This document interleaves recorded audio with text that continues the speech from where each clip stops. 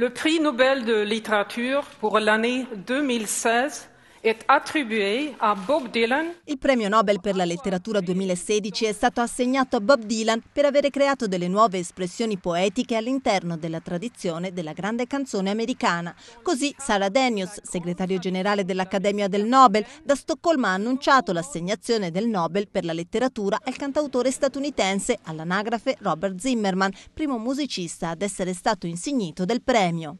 La scelta di premiare il menestrello di Duluth, Minnesota, dove Dylan è nato il 24 maggio del 1941, ha mostrato grande coesione nella giuria. Il grande cantautore, 75 anni, ha pubblicato il suo primo album nel 1962. Considerato uno dei musicisti più importanti nella storia della musica rock e folk, ha scritto alcune delle canzoni più famose della musica americana, da Like a Rolling Stone a The Times They Are Changing, da Desolation Row a Hurricane. I testi delle sue canzoni hanno accompagnato e segnato il passaggio da una musica folk tradizionale al moderno folk rock, ma hanno anche dato voce al movimento dei diritti civili negli Stati Uniti degli anni 60.